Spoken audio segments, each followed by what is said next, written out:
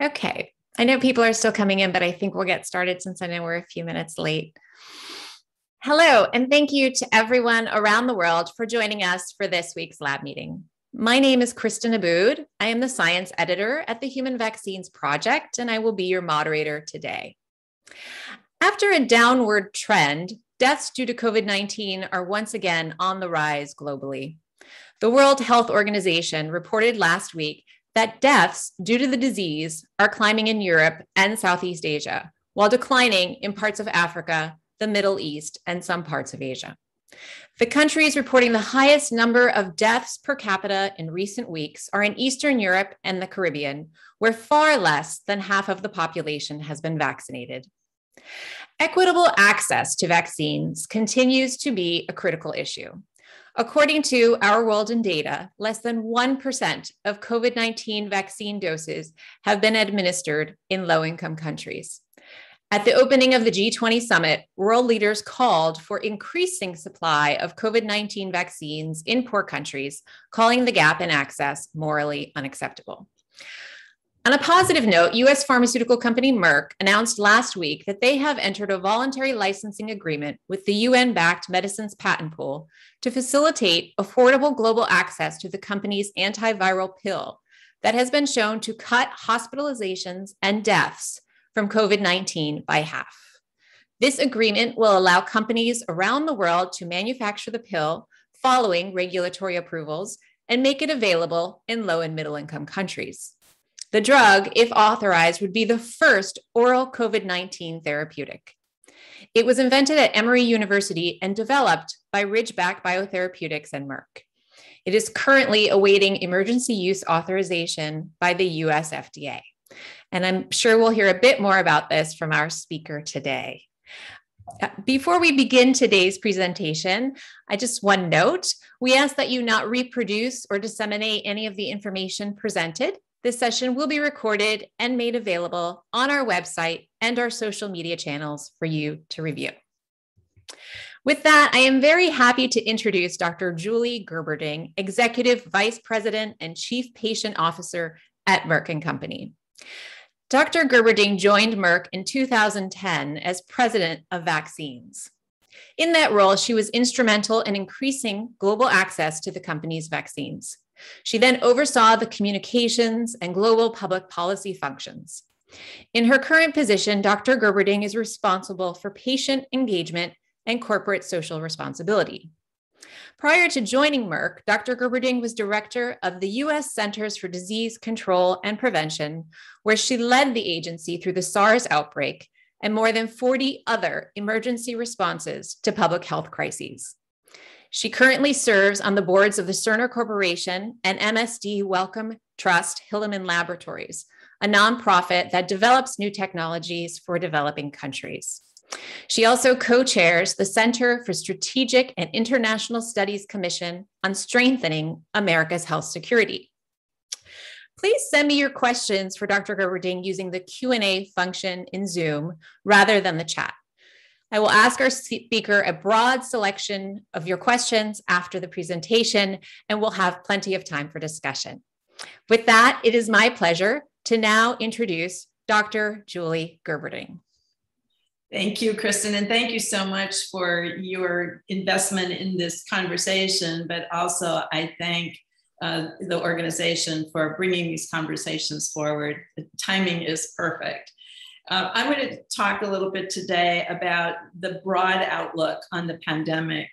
Um, but I will start just by framing how I see it, because obviously it's not over yet. And I think we have gone through a series of kind of stages of response that are worth uh, recapturing. You know, uh, the metaphor I use for, for the SARS CoV 2 pandemic is really a marathon. At the very beginning, we were way behind the virus. It got out in front of us before we even knew we were running a race. And unfortunately, it globalized under our noses without our really recognizing the asymptomatic transmission potential that this particular coronavirus had. But fortunately, we were able to initially begin to catch up with the virus by implementing our non pharmaceutical interventions. So, for a while, we could flatten the curve, slow down transmission, in some regions of the world, even really contain curtail the ongoing spread. So, that was kind of an optimistic, um, we're catching up phase of the pandemic. But unfortunately, uh, we saw two things. First of all, it was very difficult to sustain those non pharmacologic interventions, particularly in more libertarian societies. But second, um, the variants began to emerge, and we saw alpha, beta, gamma, delta, and particularly delta really take off. And of the juxtaposition of some relaxation in the NPIs and then um, a virus that was particularly suited for rapid and silent transmission. So that put us behind again in the race. And now we are beginning to benefit from the availability of vaccines somewhat selectively, because certainly we have a long way to go before we have achieved global access. But slowly but surely, we're developing pockets of populations who are relatively uh, resistant to the severe complications of infection. But as we're learning in all too many regions of the world, that protection is not absolute. And the breakthroughs uh, with Delta virus, even among fully vaccinated, immunologically, immunologically protected people, um, is still a major factor in propagating the, the, the, transmission on an ongoing basis. I was really um, discouraged this morning to read about the situation in Colorado in the United States, where the hospital systems in the state have now decided that it will be okay and permitted for hospitals to turn away patients because the surge of the number of COVID cases is weakening their overall ability to provide essential services. And the virus, even though the population of Colorado is ostensibly 80% uh, vaccinated, we're still seeing this incredible surge competency. We're coming in, in in many societies to the holiday season with um, several important holidays that bring people together. I was in the airport this weekend, and I can certainly see from a US perspective, there is plenty of travel going on, and not everyone is uniformly uh, following the requirements for masking, et cetera. So I think we cannot lull ourselves into the false sense of security that we're that we're winning this race right now. This is neck and neck, and we have a long way to go before we get to any kind of a finish line.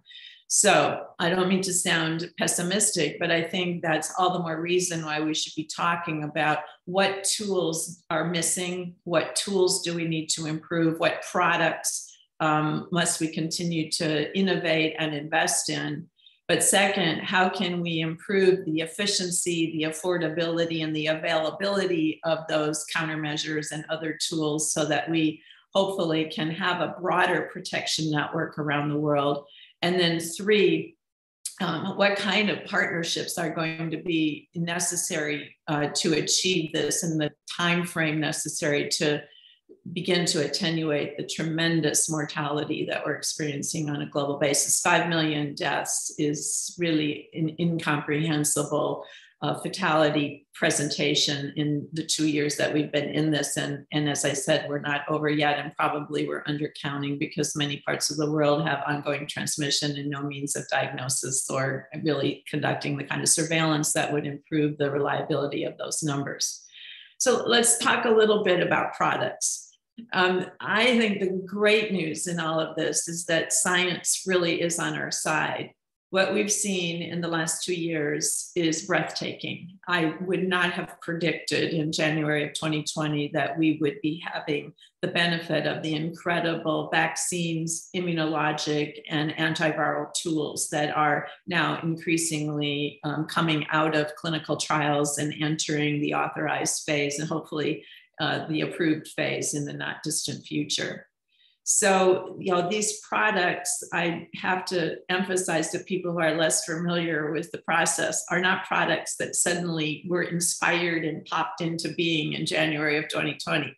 These are countermeasures that are building on the science that's been going on over a long arc of time, both the scientific capabilities in kind of a generic sense, but also the specific coronavirus work that was uh, sort of catalyzed in 2003 with the first SARS outbreak. Um, and then emphasized with MERS as we began to see how that coronavirus was propagating and the incredible force of mortality with, with the MERS virus. And then um, the recognition with SARS CoV 2, just kind of building on a broadening of our understanding of coronavirus biology, but also the, the necessary components of an effective coronavirus immunology. So, one piece of the product development really is the understanding of the virus. And of course, we still have a long way to go with that as well.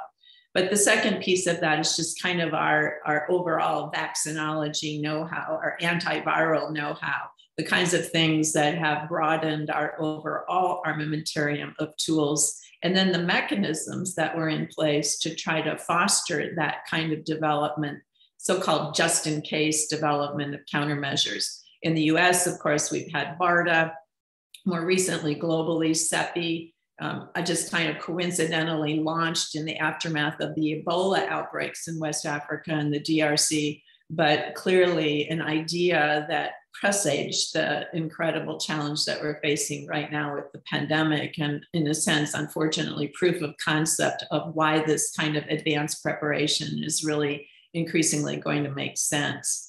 So we've got great science of the coronavirus. We've got great broadening scientific tools and platforms for the creation of not just vaccines, but also antivirals and immunologics, and a lot of experience in applying those tools for other public health challenges.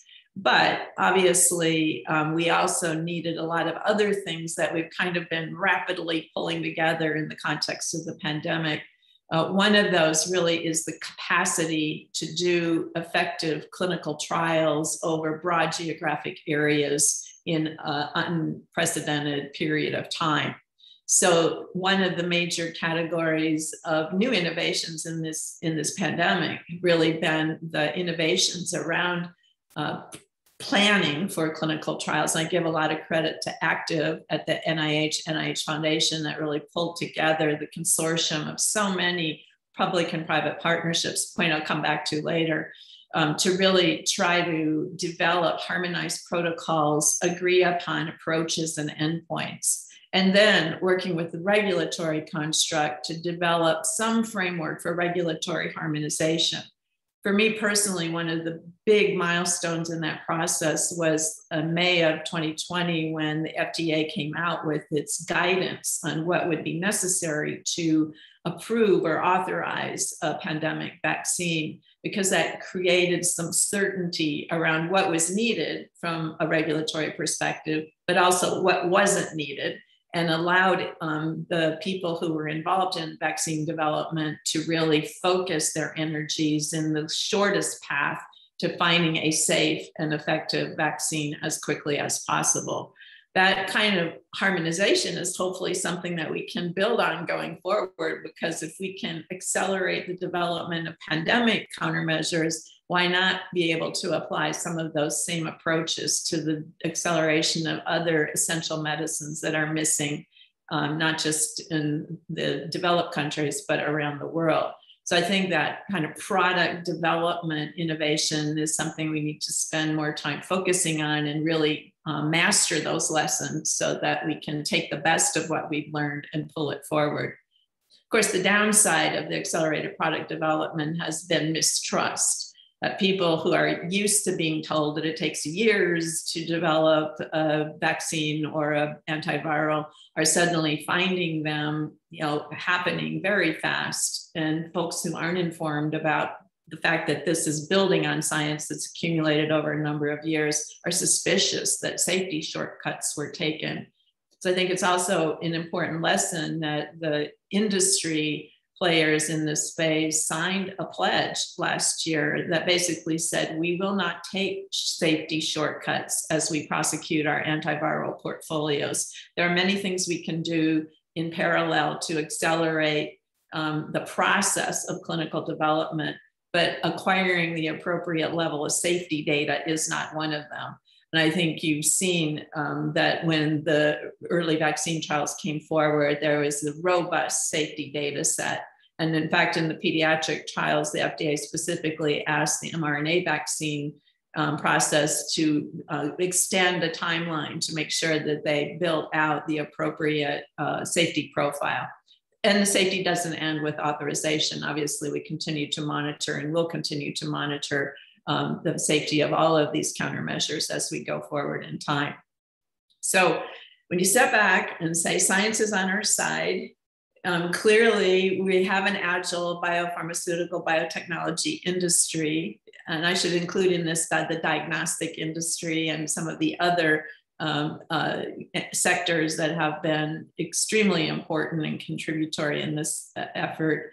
But we have players who are agile enough to accelerate and innovate on the fly and take risks. Uh, we have governments that are willing to support and help de risk that effort. So we've got a lot of the important pieces in really um, creating countermeasures now. Um, but we're going to need to sustain that investment because, in some ways, we are sort of at the 1.0 level of our countermeasure development. And if the past predicts the future, I imagine that we will need to have improvements in some of these uh, countermeasures, and we will need to continue to invest and de risk and work on global distribution, affordability, and hopefully durability of the relevance of these products.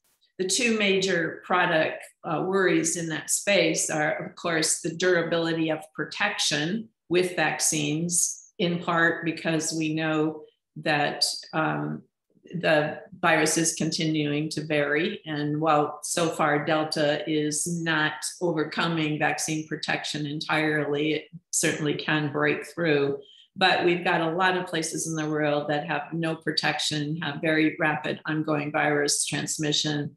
And so there are plenty of new chances for variants to emerge. And we might not be so lucky with the next variant. But I also think, just generally speaking, we are seeing the waning of immunity over time, at least the biologically measurable uh, markers of immunity in the bloodstream in terms of antibody titers. So we need to be thinking about how do we sustain that level of protection until we either don't need it or we have uh, moved into the very endemic phase of the coronavirus and that becomes less problematic. So durability of protection is a major challenge to the ongoing countermeasure uh, portfolio. And I think the other um, potential issue in the future is resistance. Um, certainly, we've seen with every other RNA, single stranded RNA virus that we've dealt with, that there is a worry about drug resistance. We've seen this with influenza, hepatitis C, HIV.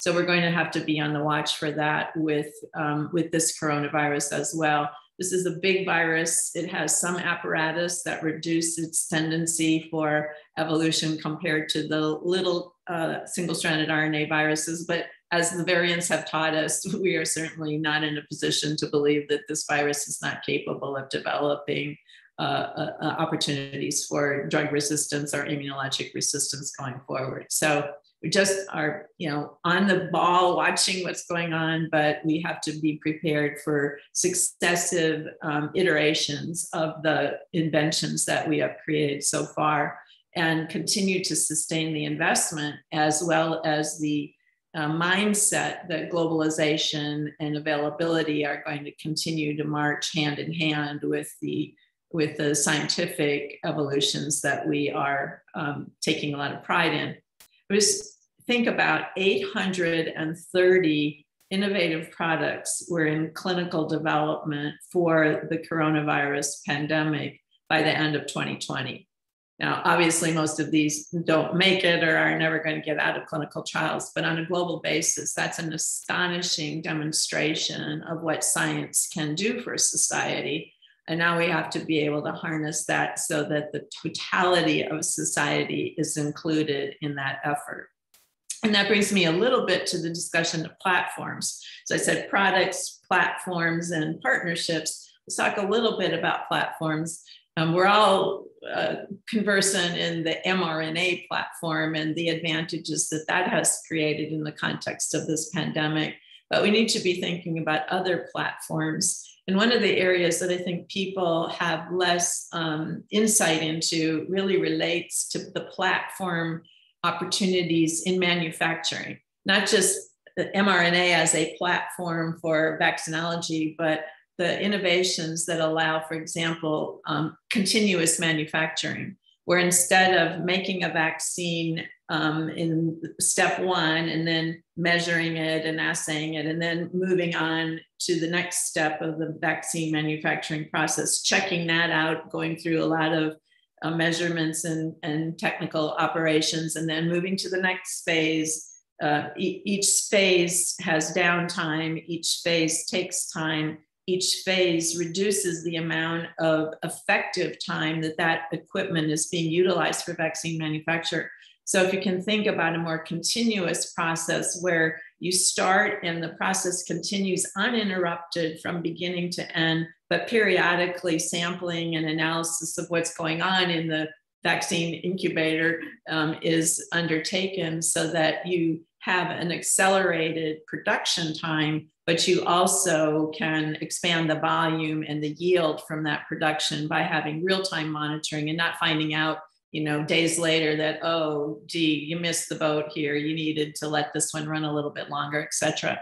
So there are incredibly exciting changes afoot in the way we approach the manufacturing of large molecules. And I think um, the FDA has a working group on this, but the interest in the continuous manufacturing has certainly been heightened by the understanding of what a difference that would make in our ability to scale the manufacturing of some of these countermeasures. Um, and as we're thinking about locating manufacturing capacities in new areas of the world that lack some of the experience and technical competencies, probably need to be thinking about how do we set up this kind of a system so that the processes are more automated there's less opportunity for human error or downtime, and that really hopefully can create the most modern approach to um, vaccine development, for example, or immunologic development that we can conceive of at this point in time.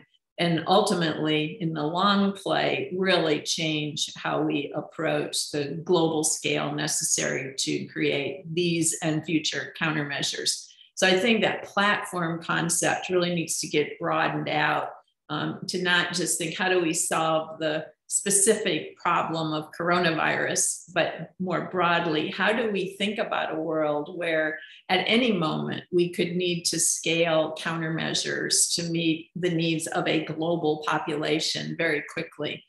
And I say that again, not to sound like I'm pessimistic or gloom and doom, but there is nothing in the world today that suggests to me that we won't be seeing new viruses emerge with pandemic potential, whether they are spillovers from the animal kingdom or accidents or intentional releases.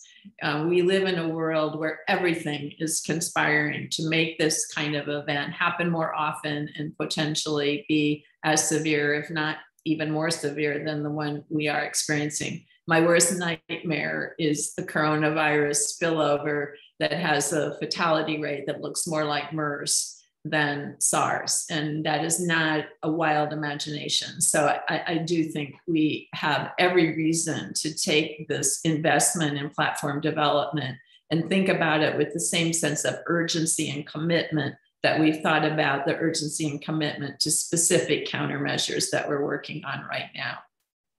So that kind of leads me then to the concept of partnerships. Um, private public partnerships has kind of become a buzzword. We use it all the time. We have lots of panels on private public partnerships and lessons learned and so forth. Um, but I think we're really dealing here almost with a Mandelbrot scale where we've got kind of a fractal presentation of private public partnerships at the most local level, expanding um, out into private public partnerships at a global macro level. And every um, iteration of that expansion is relevant to what we need to accomplish. So let me maybe start with the local level because we don't always think about the importance of these kinds of partnerships at the front line of the pandemic. But we know at, in communities, I mentioned the situation in the United States, Colorado, earlier in this conversation. At the community level, uh, no one can manage this pandemic. We need the local government, of course, to have the leadership and provide the public health guidance, et cetera, make decisions about allocation of scarce resources. But we need the private sector. We need the private sector as it participates in the healthcare system. We need the private sector, for example, employers who set guidelines and expectations for their own employees, who serve as trusted reservoirs of communication amidst all of the other mistrusted source of information that people are receiving. Um, we have an incredible need for the private sector, not just the people who make countermeasures, but the people who are trusted at the community level, influence vast numbers of employees, community leaders, et cetera. So those kinds of public part partnerships, public private partnerships at the community level are really the backbone of what's, what is successful about this pandemic. Um, but it's not something that's really seen the light of day and not something that a lot of people are really focusing on. Where is that working well? Where is it? Where isn't it? And what can we do to help improve that local um, community effort?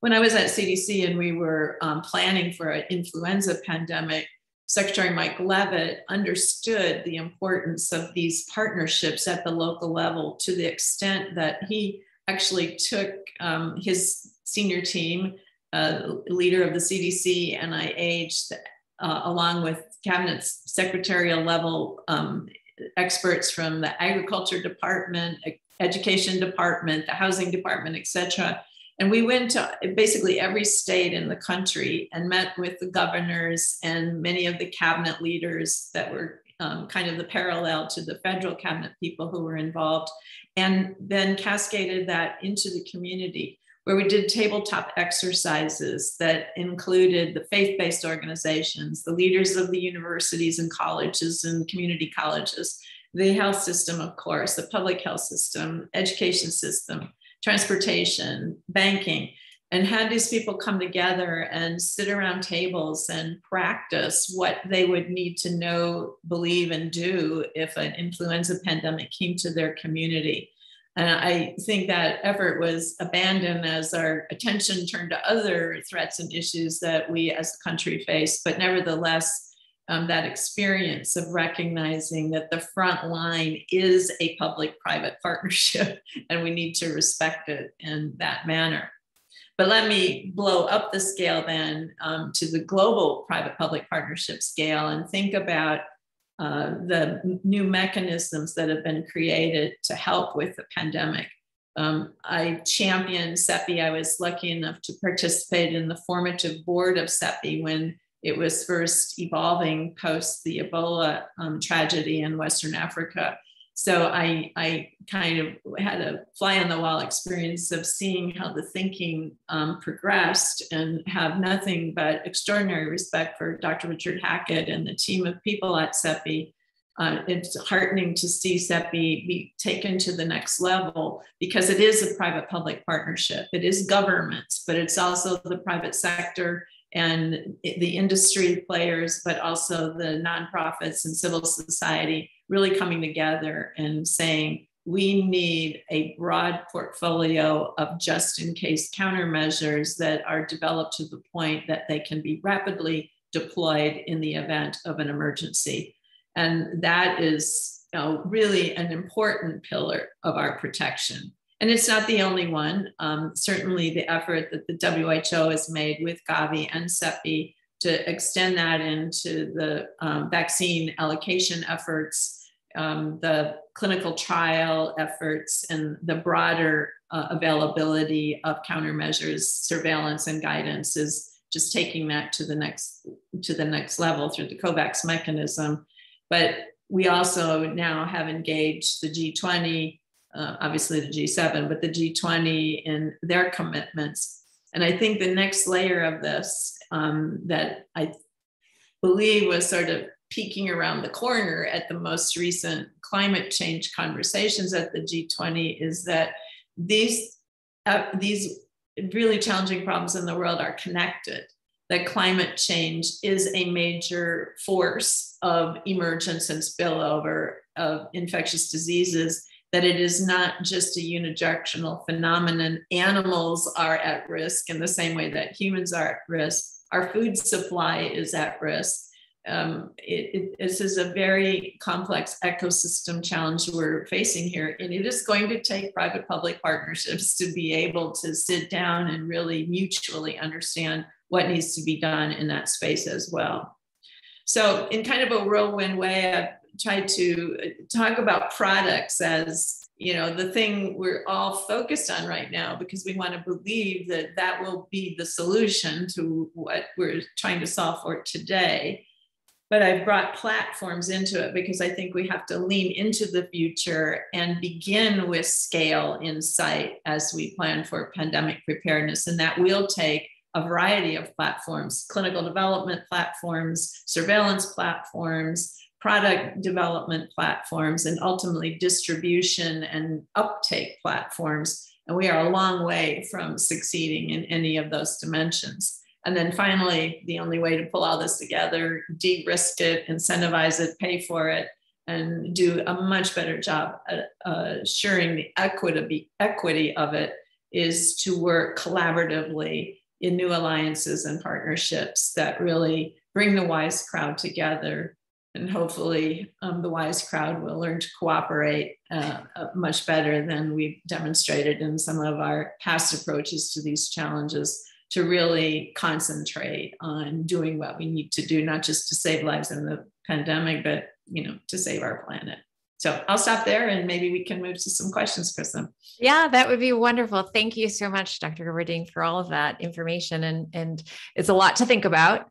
And so I, I would like to maybe just ask because you, of course, talked about how CEPI came, the formation of CEPI came in response to the Ebola um, outbreak. And I'm wondering from Merck's perspective, specifically working to develop the Ebola vaccine as a public private partnership, what were some of the lessons that came out of that experience for Merck about what would be a better partnership or a more effective partnership or, you know, going forward?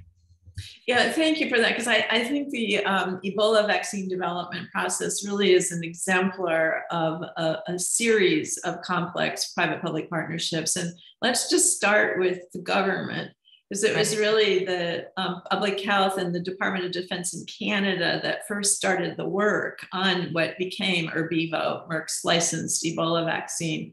Um, and that, that work led to a partnership with the US Department of Defense and then ultimately, um, that work didn't go any further, but a small biotech company in Iowa um, took on the challenge of developing a commercially viable vaccine and made a significant progress so that when the tragedy of the outbreak began to unfold in West Africa, the recognition of how many doses would be necessary and how fast the actual clinical assessment of that potential vaccine would need to be um, scale is just something that many smaller biotech companies struggle with. So it made sense that Merck, with our broader reach and our ability to capitalize and our vast experience in clinical trials, that we could step in and help coordinate that. But a private company can't do that alone. We have uh, needs for the vaccine in three and possibly additionally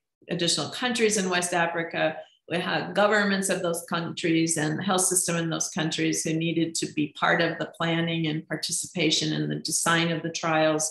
Um, and then we had other federal agencies, particularly the NIH and the CDC in this country, but many other um, public health entities. And then Médecins Sans Frontières, if it weren't for their leadership on the ground and their know-how and the, their ability to generate trust and um, sustain that trust in almost impossible circumstances, and on and on and on. So I think um, the various stages of the development of Ervebo really demonstrated the relevance of harmonizing these partnerships. You know, it, in a sense, it's like saying, well, plan horizontally across all the different stakeholders that have something to contribute some wisdom to contribute to the strategy or the design. But at the end of the day, you also have to be able to execute vertically and you know to plan that Uh, in an emergency in areas of the world that had no experience with complex clinical trials or you know, placebo control or any of these jargon ideas that we who are accustomed to clinical trials take for granted was really a heroic undertaking. Behind the scenes, however, there was some additional layers of the cooperation that most people haven't seen. I'll just give you a couple anecdotes. Um, before vaccines could be used in the clinical trials, the phase three studies in West Africa needed to have safety data. And those safety data were developed with collaborators, for example, in Europe, in Germany, in Switzerland, et cetera, et cetera. And moving uh, an unapproved product, such as a candidate vaccine, from one country to another, and the diagnostic tools and reagents necessary to do the testing of what you're finding, these all require things like import permits and all kinds of regulatory bureaucracy that normally take forever to solve for. Right. So the partnerships that came together to work all that out in an expeditious manner, just like that's a whole book by itself. Um, and some of those um, changes really, I think, have helped with what we're trying to do now as, as the countermeasures for the SARS pandemic have been prosecuted. The other piece, of course, is the supply chain and the wonderful stories, um, particularly involving the DRC um, and moving a product requiring cold chain from the United States to mm-hmm. the Democratic Republic uh, of the Congo is uh, another long series of private public partnerships that really represent um, the best of humans and their organizations and something that, again, many lessons learned that have paid off as we've approached the movement of vaccines and, and products, for example, for the coronavirus. So um, it takes a village. In other words, it takes yeah. a series of private public partnerships. Right. Well, I mean, just hearing you talk about that, the, the complexity, you know, you just say public private partnerships and it sounds so simple, but the complexity in all the different partnerships that really need to come together to make this happen. Um, and of course, you have all the different organizations. You have BARDA, you have CEPI, you have, you know, in this case with COVID, you had Operation Warp Speed. So the coordination of all of that, I'm imagining, also has to be quite challenging. And so I'm wondering, just in terms of partnerships, how much of that can you put in place in advance when without knowing what the product will require and and where it's going exactly and, and all of that? Yeah, I think one of the things that um, frustrates me the most about our overall preparedness planning is that we haven't been able to land on kind of the the generic structure that we will reliably move to. So every time there's a new, I'll just use the United States as an example. Every time we have a new crisis like this, you know, we solve for the leadership in a different way. This time we had warp speed, we've had, you know, czars in the White House, we've hired ambassadors to lead the effort. We keep coming up with a series of solutions that are not sustainable when one administration changes to another. So we do need to decide what kind of governance within a country and then what kind of governance, you know, on a more global basis is going to make sense to give us the most robust, um, reproducible strategy because that strategy and that um, connectivity needs to be exercised Right. And as you point out, it's really difficult to invent this wheel every time you need it because people change and and you know our complacency sets in, so we forget what we've learned. So I think that's one really important thing is to create a structural solution. We need a financial solution that sustains the investment to be able to support a, a, a consecutively improving process of global health security but we also then really need to be thinking about how do we build, I guess, the culture of, of protection. We tend to still, even today, two years into this, that we've seen the devastating economic consequences, the geopolitical disruption this has created. We still mainly think of it as a health problem Right. And so we invest in it sort of with the scale that we use for other public health problems, which is woefully inadequate almost everywhere. We really need to change the culture of this to resemble something that is more like national security, because in a sense, biosecurity is national security. And we need to make investments that we hope and pray we never use, right. but they're there if we need them. Yeah, Absolutely. So, we have a question on the development of platforms. Um, the private sector has a greater incentive to focus on targeted products rather than broad platforms. So, the question is what is the appetite now uh, or the model for industry to develop products in the absence of a specific target? You know, I might disagree a little bit with that premise because, um, you know, I kind of molded in the influenza model, which obviously has some limitations to the current situation. But um, you know, when we were planning for influenza, we had in our minds this dual purpose concept because we knew the systems and the tools and the approaches that we were using to plan an exercise for an influenza pandemic would serve us well for ordinary public health challenges as well. And I think industry has a little bit of the same mindset if you have an mRNA platform, and all you have to do is look at Moderna to understand this, um, you have value in the product that you're creating, but you also have an imagination, and you can see how that platform can be repurposed for other things that may not have to do with pandemics, but cancer or other infectious disease problems. So I think modernizing and creating a more efficient, scalable platform that has a lower cost of goods and a more reliable production cycle and um, basically uh, an innovation that creates efficiencies as well as effectiveness. That's something we all are aiming for uh, across the board. So it's relatively product agnostic. And I think yeah. that's why I put so much emphasis on, on the potential value of investing in platforms. Right. Right. Absolutely. Um, so we have a question on whether you think we will actually need new COVID 19 vaccines or whether we should just invest in improving or altering our existing and expanding production of the, of the currently licensed vaccines.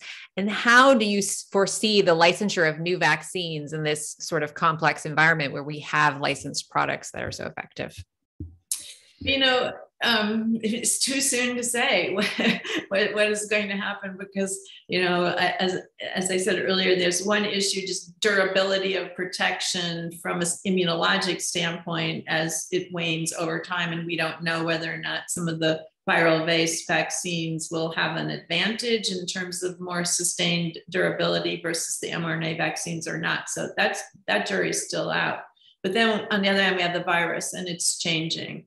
Um, and you know everything we can see right now tells us that um, we continue to have good uh, cross protection for the variants that we are aware of, but that doesn't mean that will stay the same. And so, uh, where we are today, it makes sense to utilize the vaccines that we have to the best of our ability to achieve full coverage and full immunization as and that is variable depending on what specific subgroup you're talking about uh, and what specific vaccine. But we also need to be fully prepared for the fact that if a variant emerges where there is truly a reduction in immunologic coverage, then we'll have to change the the backbone of the of the vaccine. And you know, if we're preparing for a more endemic um, solution or we are getting our heads around the fact that coronaviruses are going to be an ongoing threat wherever they're spilling over from. You know, we have to be thinking about bivalent vaccines that have more than one component of the coronavirus in them or have more than one coronavirus in them. Um, you know, we have to be thinking about uh, how do we create maybe something that operates more like influenza vaccine where each year what's in the vaccine is chosen based on what we can reliably predict or reasonably predict about the most likely challenge in a given community or given region of the world. So too soon to really predict that but we need to be prepared for the fact that as i said we're sort of at the 1.0 level here and there will be a 2.0 chapter, I'm sure, if not a 3.0 or a 4.0. Right, right. So we have another question with regard to COVID vaccines. Um, if you could speak to the manufacturing challenges globally and how that should be managed for the different platforms, whether it be RNA or adenovirus-based vaccines, and, and what what you think the solutions are for the sort of global manufacturing shortage. Yeah, you know, at the moment, um, at least um, with the 1.0 generation of vaccines, we actually have a plan to provide the number of doses of vaccine that we need. So I might start at the other end of this, which is what is the point of having a lot of vaccine if it's maldistributed or it is um, not used? And that uptake, um, the last inch, so to speak, is uh, equal, if not more important, than the absolute number of doses that we can create in a period of time X. So I, everybody has been focused on the number of doses as if that was the solution to the problem. And if only we could make more doses in more places, that we would have um, a, a better outcome. But I don't think it's that simple. The other thing to say is, and I have learned this the hard way during my tenure as the president of Merck Vaccines, vaccine manufacturing of any sort is not for the faint hearted. Um, you have to make a product that does not start sterile and ends up sterile, reliably consistent, safe enough in, in many cases for use in tiny little babies. And there is zero tolerance for any um, variability in the safety profile or the efficacy profile, but particularly the safety profile of the product. It's a really hard situation. Um, when I started in Merck vaccines, half of our vaccines were not in the market because we had one challenge or another in the manufacturing space. So there's a magic thinking that, oh, now we have mRNA vaccines, those are easy, everybody can learn how to do this. That is not true. This is extremely challenging and it requires a whole cadre of um, technical training and development, which is not to say it can't be done. It just means right. that um, we need to expend the effort and build the broader um, knowledge systems, the training, the experiential learning, et cetera, and it's kind of hard to do that right now because all hands are in deck just trying to make the vaccines that you know we're coming out with at the moment. You know, when Merck said, "Well, we we will try to help J and J make its vaccine," and many other companies have done the same thing to you know take our know-how and our surge capacity and apply it to this problem, even though it's not a profit driver by any stretch of the imagination. In fact, that's opportunity cost because it slows down some of the other vaccines that we were working on. But um, it's an effort to really acknowledge that it's not just vaccines that are a scarce resource. Vaccine technical competency and capability is a globally very scarce resource. Mm-hmm. And I think that's part of our future planning is how do we build that capacity? and it's awfully hard to do it on the fly in the middle of an emergency. Yeah, I'm sure, I'm sure that's right. Can you talk about the role that the that Merck's antiviral COVID antiviral might play in low and middle income countries as where vaccine, particularly where vaccine rollout has lagged behind? Yes, thank you. And you know, I can now confidently say that the molnupiravir antiviral was authorized in the UK by the MHRA this morning. So oh. um, we are now able to um, talk about you know it as an authorized product in at least one region of the world. Uh, you know, it's not a magic bullet, of course, but to have an oral medicine that's pretty easy to manufacture at, at, at, a cost of goods that will be affordable, especially as volumes increase, um, that is hopefully useful in keeping people out of the hospital.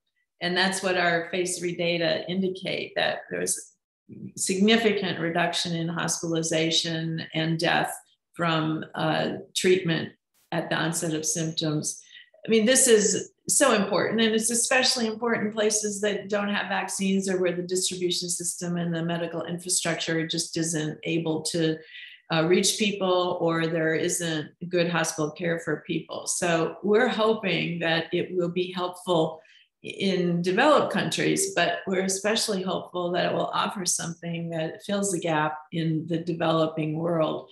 And that's really why, um, long before we had even a glimmer of information from phase three that would suggest that it will be valuable, we gave voluntary licenses to several generic manufacturers in India who supply 100 or so of the lowest resource countries But then with the um, transfer to the medicines patent pool, that expands um, the ability of generic manufacturers in other countries to be able to utilize the patent to make additional um, doses available wherever they are in the world. So hopefully that will be a contribution to reducing the morbidity and mortality from the infection. Of course, we have ongoing studies to see whether or not it would also have a post exposure prophylactic effect, or I hmm. suppose someday possibly even a pre exposure prophylactic effect, right. although those studies are not in progress. So um, it, it's a it's an oral medicine right now, sort of a capsule um, and it, it's several capsules a day. So, you know, we'd like to formulate it so it's a little bit easier for people to take. And we um, know that it's only right now a five day course for treatment. That seems like it's a pretty tolerable duration of treatment. But, you know, if we can find formulations that offer pharmacologic advantages to reduce that or change the dosing requirements, et cetera, there will be hopefully improvements going forward. But boy, it's it's something, and I really hope that um, people will be able to benefit from it. Yeah, that's that's very exciting. Um, so we have a question for you about what sort of changes at the state local level in terms of partnerships that you think should be implemented immediately. yeah, so you know this has been a really tough time because I have enormous appreciation and respect for our public health system at the local and state territorial level. And I know many of the people who are on those front lines. I am horrified by the threats that they have received for some of the guidance and recommendations. I am very sad by the number of resignations and the diminution of the leadership of our public health system under the stress and strain of this pandemic. And it, it, it truly breaks my heart to see that catastrophe unfolding. So in many communities, the system is, it's not just healthcare workers at the bedside of intensive care units who are exhausted. Our entire public health workforce has been running a marathon uh, at sprint speed and they are worn out. They are treated badly. They are underpaid. They are under resourced. And um, it really has revealed another underbelly of our public health system. And I don't think that's unique to the United States. I think that is the situation in many countries around the world. So, another um, opportunity to take a cold, hard look at the reality that we're operating under. Having said that, I, I do really believe that um, there's been amazing ingenuity. You know, when you think about how many millions of doses of vaccine have been successfully delivered in most countries, the public health leadership and the local jurisdictions have really created that agility and those opportunities. I, I went to a community um, immunization clinic here in Pennsylvania, and I was blown away by how efficient it was, and you know how safe I felt being there, and how uh, confident that I was really getting the best possible care under the most trying circumstances. But it was a public-private partnership. It was the health department, but the local pharmacies participated, and several other people chimed in as well. So, um, you know, it, it, it's happening and it's just a, a, tribute to the agility and resilience of a lot of very clever um, creative and i would say very tired people right very tired i'm sure well thank you so much dr gerberding for taking the time today to talk to us about these really important issues and for answering the questions from our audience we really appreciate your time well, thank you. I, and I just want to say, stay stay safe. It's not yeah. over yet. it isn't over. That's absolutely right. Um, I also like to thank all the attendees for participating in today's webinar and for submitting such great questions for our speaker. We're always fortunate to have such an engaged audience for our lab meetings. And uh, with that, I invite you to join us two weeks from today on November 18th our speaker that day will be Dr. James Crowe, director of the Vanderbilt Vaccine Center. His presentation will be on monoclonal antibodies for infectious diseases come of age, prophylaxis for COVID 19 and beyond. And if you're interested in more research on COVID 19, please do sign up for the HVP COVID Report, a bi weekly newsletter that provides insights from experts around the globe and highlights the latest scientific articles and data. And finally, please visit our website and follow us on LinkedIn, where we will upload a recording of today's webinar. And with that, I'll say thank you again for participating today. Thank you, Dr. Gerberding. Stay safe, everyone. And we hope that you'll join us again on the next Global COVID Lab meeting. Thank you so much.